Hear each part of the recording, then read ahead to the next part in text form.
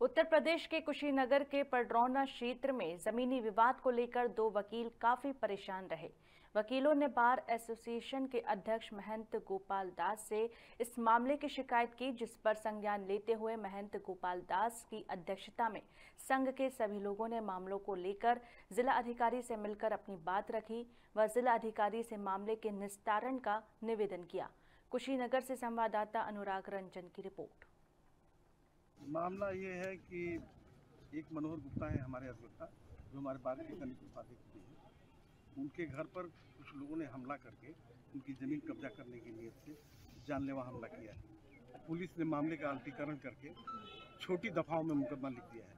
हालाँकि पुलिस ने चार लोगों को गिरफ़्तार मौके पर कर लिया है, लेकिन चार लोग अभी फरार बताए जाते हैं। उन लोगों ने उग्र होकर के उनके रिहायशी घर में जो पोल्ट्री फार्म है, उसमें घर बना हुआ था। उसमें रात को उन्होंने आग लगा दिया था। तो इस तरह से रिएक्शन में लोगों के साथ अत्याचार किया जा रहा है और पुलिस मामलों का अल्पीकरण कर रही है।